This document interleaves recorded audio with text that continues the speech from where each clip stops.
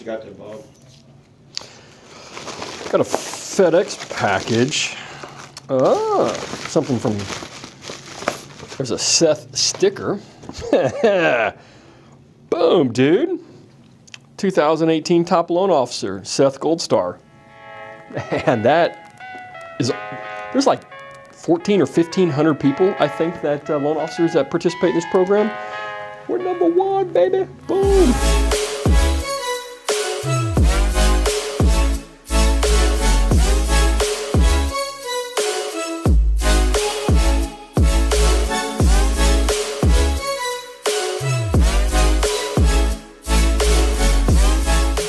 Just got uh, number one loan officer for Seth Goldstar.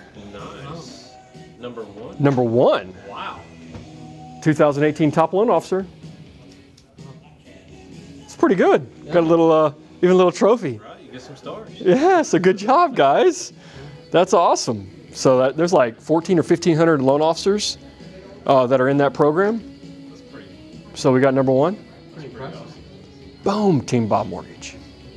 We ain't even on the tip of the iceberg. Oh yeah, dude, we're scratching the surface at this point. I mean, they better get ready. Okay, so all of our One Minute Mortgage Solutions and other videos, like short, uh, like micro content, we're going to convert with Spanish subtitles, so that way we can obviously reach uh, the, the Spanish community, Hispanic community. Okay. Like when I post something, I always write my own personal comments about what that video means, right? And it's always like, I mean, it's not gonna be, it's not long, like, you know, two pages worth of stuff. It's like, you know, 140 characters, or it could be, you know, um, a couple, um, you know, 300 characters or whatever. But I need you to take that English version and convert it into Spanish, because if I'm posting that with Spanish subtitles, it needs to, that heading needs to be in Spanish as well. Yeah. Cool. Next, man. Now, how did you guys connect? Y'all, you, how did that happen? Through my broker Chuck Okay. Fleischer. Okay, excellent. Yeah. Chuck. Yeah, he's awesome and quite the connector. And we've known him for many years. He's Yeah. good egg. Yeah. Why don't you, Bob, kind of share with her a little bit about our story? Yeah, we had a really good conversation early on, um, and I think, I mean, for me, it was just really having her, you know, come on in. I'll show you everything that we kind of talked about on the phone, get you to meet the team, because what I understood was from you and from our initial call, what I took from it was, look, you need certainty uh, when you talk about. One of A, words was like, you just need a, a loan officer that has the history, relationships, whatever it is they do, that they do what they do, and you don't need to know all the crap. Right. You shouldn't know as much as you know right now, to tell you the truth. I'm like, Well, there's a balance and a harmony that we have to live in as a, as a, in a partnership to where I want you to know enough to where you are a good voice and a sound voice for your client so they feel comfortable with you. They trust you, right? Because if you're all if, explaining like, we need to submit this doc form number D, whatever. no, that's yeah, that, that Like you're you're way down you're way down in the weeds in that area. I need you up here and then have confidence that when you defer it to the finance team, right, that you're even looking better by making that referral back, right? Or saying, hey, that's a great question. Let me get the team on the phone and they can handle it for you, or let me get them to reach you. And then you know it's actually going to happen. So the execution. So we talked about education and communication, execution on the phone. It was just really about um, wanting to come in, meet everybody, meet the team, see kind of what we do, how we do things.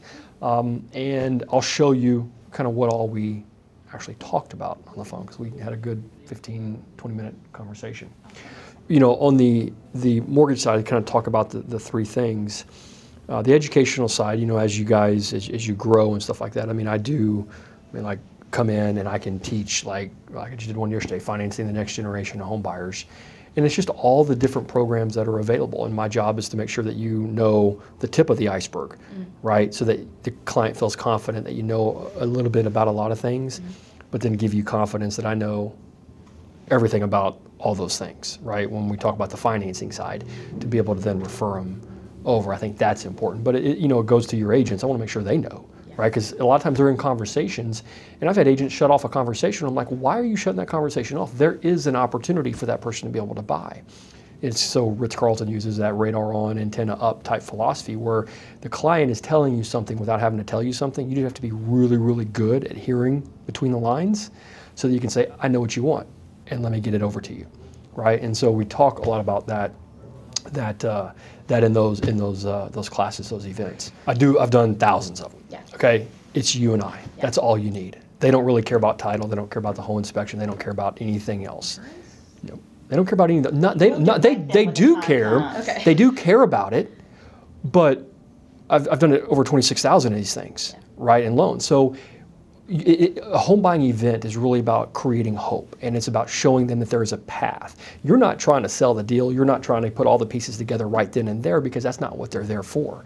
They're there to have an experience, they're there to learn, they're there to have see that there is hope and that it doesn't necessarily it's not a plan, it's here's I want to create the hope, but then I want to lay it out for you. Okay, so you don't have the perfect credit. That's great. Here's how this happens. finance Right, here's how this happens. Here's how it works, right?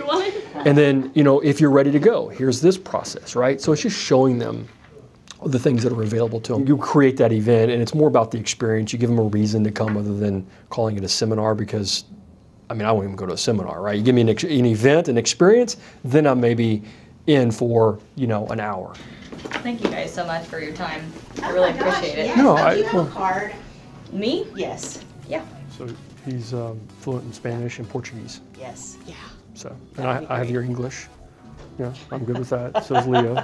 Chris is good with that. You can do some pig Latin, you know. Yeah, you Bob Nassenhaj, you got it. See ya.